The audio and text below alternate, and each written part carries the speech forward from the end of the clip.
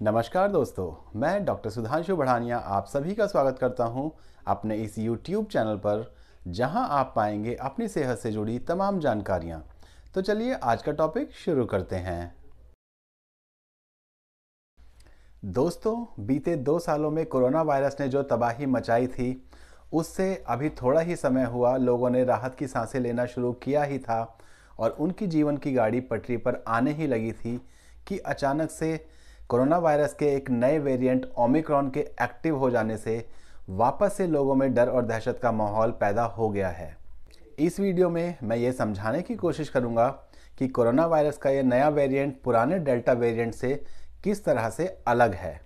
साथ ही साथ ये भी जानेंगे कि इसका इन्फेक्टिविटी रेट क्या है, यानी कि एक इंसान से दूसरे इंसान में फैलने की इसकी स्पीड क्या है। इसके अलावा ये भी देखेंगे कि सिम्टम्स के हिसाब से ये पुराने वेरिएंट से किस तरह से अलग है? यानी कि आखिर वो कौन से सिम्टम्स हैं जो कि ओमिक्रॉन वेरिएंट से पीड़ित मरीज़ में देखने को मिल रहे हैं?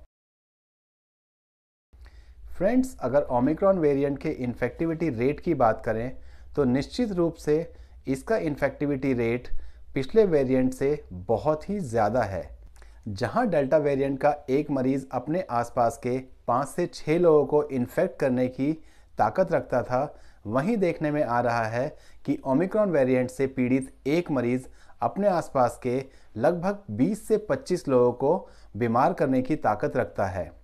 ये आंकड़ा ही अपने आप में बताने के लिए काफ़ी है कि ओमिक्रॉन वेरिएंट का इन्फेक्टिविटी रेट पुराने डेल्टा वेरिएंट से काफ़ी तेज़ है और ये एक इंसान से दूसरे इंसान में बहुत तेज़ी से फैल सकता है।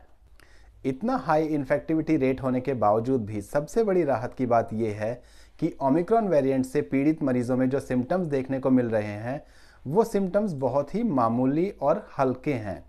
यानी कि ये साफ़ ज़ाहिर है कि ओमिक्रॉन वेरिएंट पिछले डेल्टा वेरिएंट से कम जानलेवा और कम घातक है। इसके अलावा ये भी देखने में आ रहा है कि ओमिक्रॉन वेरिएंट से पीड़ित मरीजों का रिकवरी रेट बहुत ही ज़्यादा है। और ज़्यादातर मरीज़ बिना हॉस्पिटलाइजेशन के घर पर ही ठीक हो जाते हैं। अगर ओमिक्रॉन से पीड़ित मरीज़ के लक्षणों की बात करें तो ऐसा देखने में आ रहा है कि ओमिक्रॉन से पीड़ित मरीज़ को बहुत ही ज़्यादा थकान महसूस होती है। ज़रूरत से ज़्यादा थकान के साथ साथ ओमिक्रॉन वेरिएंट से पीड़ित मरीज़ के पूरे बदन में हल्के दर्द की शिकायत भी रहती है।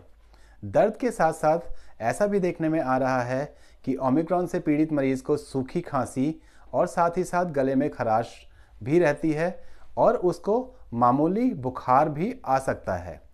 सबसे बड़ी राहत की बात यह है कि ओमिक्रॉन वेरिएंट से पीड़ित मरीज़ का ऑक्सीजन लेवल बिल्कुल नॉर्मल रहता है और उसे किसी भी तरह की ऑक्सीजन थेरेपी की ज़रूरत नहीं पड़ती।